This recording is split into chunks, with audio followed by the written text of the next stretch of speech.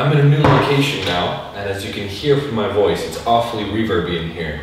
So that means that there's a lot of soundproofing to do, unfortunately. But in the meantime, I'm gonna just hang out with this awesome Earthquaker pedal and tell you a little bit about now.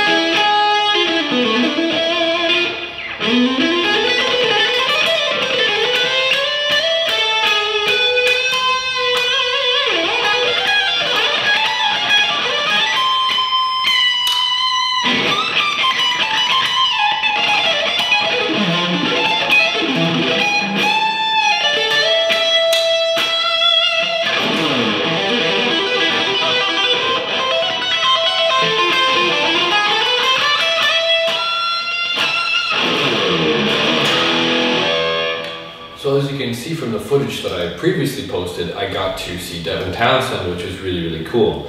Other than that, I basically hung out at the Aristides booth and ran around with uh, my head cut off, much like a chicken in the farm.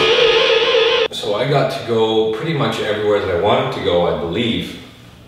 I visited places like Bare Knuckle Pickups, which was really cool because they had a Mayones Duvell there, which I really loved. I got to visit um, obviously Aristides and I played as many of their guitars as I could. I took as many videos and pictures as I could. I was a little annoying, I'm sorry Pascal if I got in the way of people, but it was a really good booth, really, the, the place to be next to the women's bathroom. It was fantastic, it was definitely the place to be. I got to see uh, Mr. Pascal, Mr. Ferdinand, Paul DeMaio, and Timo, and these guys are all, uh, we're all there in terms of the Aristides team, and, and it's great guys. They gave me the opportunity to go this past year, and it was absolutely worth it, despite the fact that I had to move literally days later, and now I've obviously developed some kind of a cold or something like that, and this apartment's cold and there's fresh paint and I can't breathe anymore.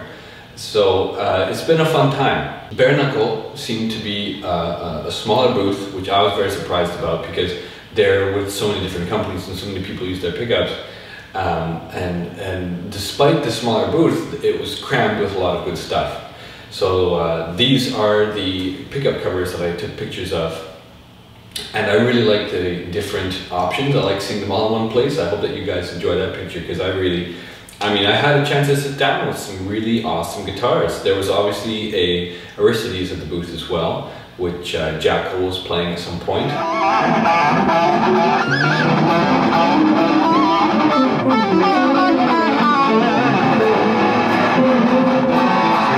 I got a chance to also play a Jackson,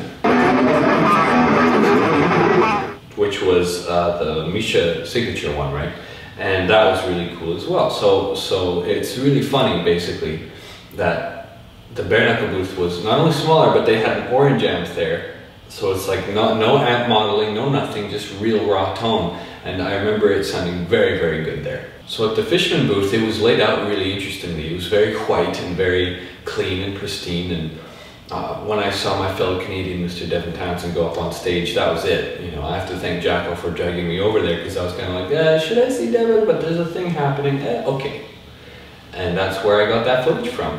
From basically Jackal's doing. So if there's anyone you guys want to thank, if you're a Devin fan, you like that video, go thank Jackal because he's the reason I actually ended up going. Other than that, it was basically chaos. The, the hubbub and the overall anxiety of the show was incessant as soon as you walked in through the doors. Um, this was the craziest and most busy night for me. I've actually lost five to 10 pounds and uh, it's mostly from walking for hours and eating like one or two meals a day, coupled with a bit of booze and you just feel, whoa. So I'm just hanging out now, finally in the new place. Not exactly fully moved in, just kind of sparse setup as you can tell.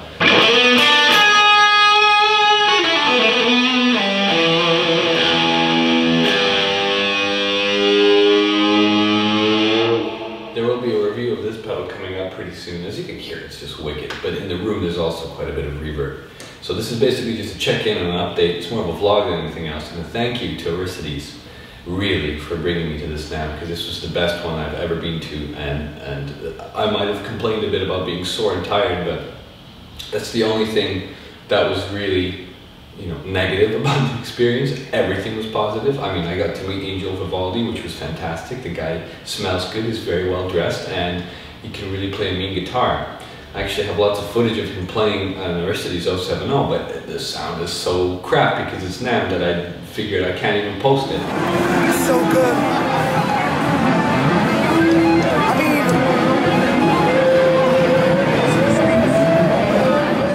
Um, I do have some footage of my friend Dean Murphy, my great friend Dean Murphy.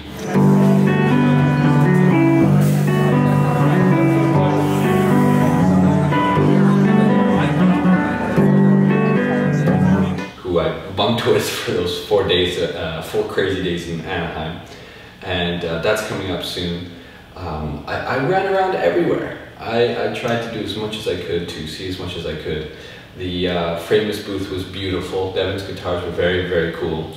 The ESP booth was incredibly uh, lackluster, other than the custom like wall art, which is basically what they specialize in every now. They bring like pieces and pieces of just basically wall art, things you shouldn't really play. Um, other than that, uh, the Schecter booth was, as it was the other year, filled with the new models of the Keith Merrow and the Jeff Loomis stuff. Jeff Loomis's new um, signature with the thing, the angles looks really cool, by the way. And no, I didn't get a chance to peep any uh, Tosin Abasi new signature thing. I didn't see it there.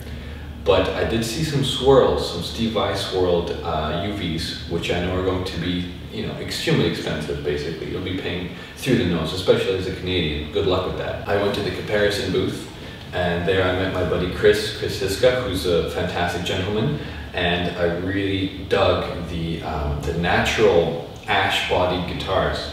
Those things sounded really mean. Ash is a really good tone wood. Hey, need to review some more guitars with that stuff and yeah, it was it was great to see uh, Gabriel there, who who you know helped helped me get this basically a, a year and a bit ago now, and yeah, I, I overall it was a very good trip. In terms of things that stood out to me, probably just the Aristides booth itself. It was bustling. There was a hell of a lot of people there. Um, I, I, I, in terms of what stuff impressed me the most, probably the uh, Strandberg OS Japanese model, and um, I mean the Aristides 080. I was the very first to play the 080S green one, the very, very first 080S outside of the factory, as, you know, as a, mu as a musician. And that felt like a big privilege, and, and I really loved the opportunity to play that, because I've been wanting an 8 string for so many years, right?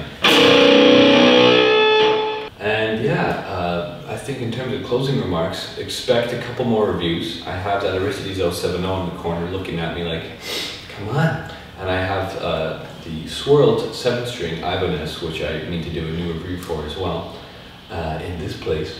And yeah, that's about it for now, YouTube. There's a lot to come. I hope that you guys have enjoyed the NAMM coverage that I've submitted so far. There's, you know, I've got my work cut out for me. I'm still moving. I'm sick. I got school to do, but it's all happening. It's all happening.